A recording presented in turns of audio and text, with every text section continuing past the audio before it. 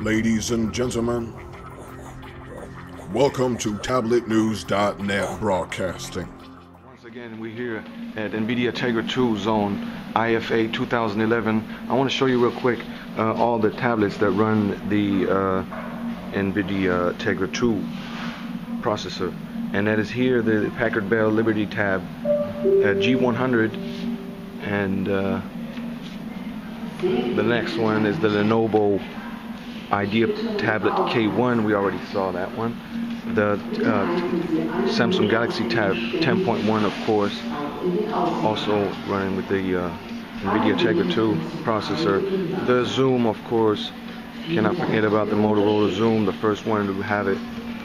The Asus Eee Pad Transformer, of course, that one also running NVIDIA Tegra 2 processor. Um, the Asus Eee Pad slider. Also running the NVIDIA Tegra 2 and uh, maybe we can grab a keychain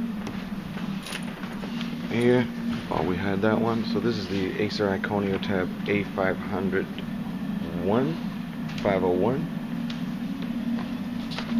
the V900 Optimus pad from LG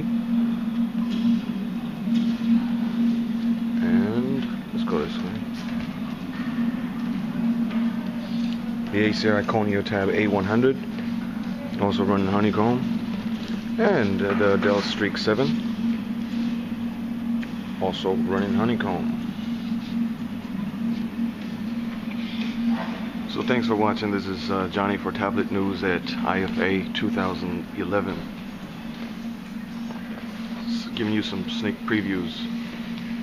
Um, because as you can see, we're still not ready here yet. Not just yet. TabletNews.net Broadcasting.